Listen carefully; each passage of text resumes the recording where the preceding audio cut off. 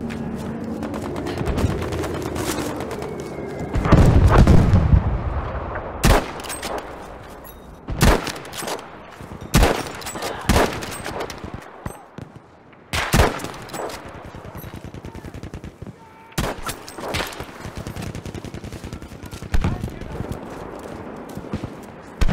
have taken enough objectives to control this fight.